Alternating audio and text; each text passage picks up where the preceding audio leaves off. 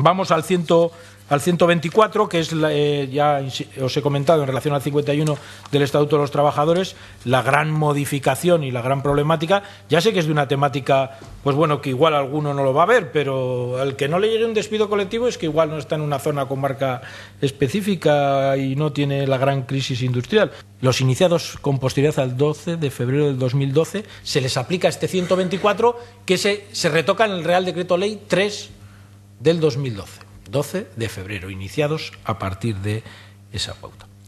Despidos colectivos, sin conciliación, cuando se demandan por representantes de los trabajadores. La decisión empresarial puede impugnarse, primero, por los representantes de los trabajadores. Y por eso son despidos colectivos. Luego, al final, nos va a hablar de eh, la posibilidad de impugnarlo por individual, individualmente y entre medio nos va a hablar de que incluso el empresario lo puede impugnar. La ley posterior, la ley 3, tuvo que retocar alguna cosa que se había olvidado el Real Decreto Ley. ¿eh?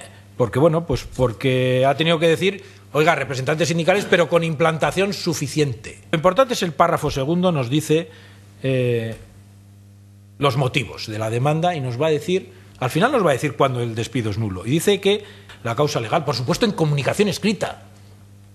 Es que si la decisión de la empresa no se ha comunicado, ¿qué churro es este?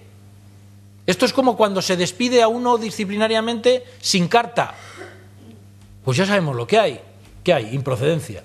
Bueno, pues aquí, según ese requisito, sería improcedente, pero veremos cómo se puede convertir incluso en nulo, porque si hubiese habido, estamos en colectivos, y si no ha habido ni siquiera un procedimiento, ni ha habido un periodo de consultas, la desfachatez formal lleva a la nulidad.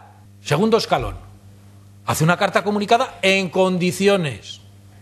De esto del disciplinario todo el mundo lo sabe, pero es que ahora en el económico, en el objetivo, es mucho más importante.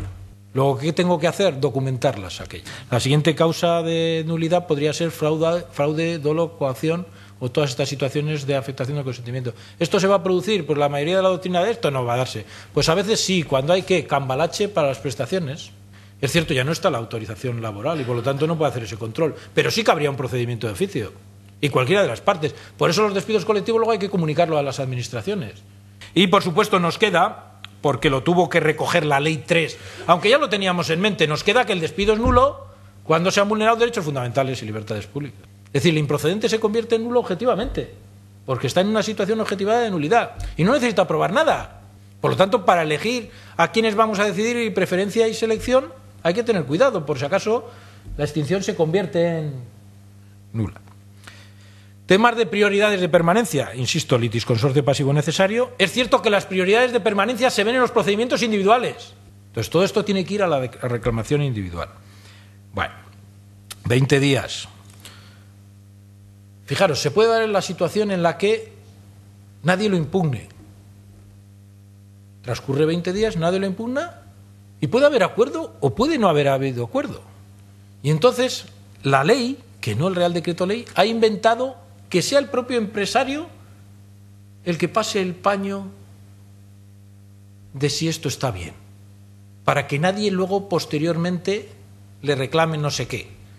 Y cuando no se haya impugnado, por lo tanto, transcurridos 20 días del despido colectivo, si nadie lo ha impugnado, dice el párrafo tercero del 124 que el empresario puede interponer demanda. Luego, moraleja, si haces una demanda colectiva, intenta que aquello pudiera ser en su caso ejecutable, que los tribunales tuviesen todo lo posible para poderlo cumplir si hay que ejecutarlo judicialmente.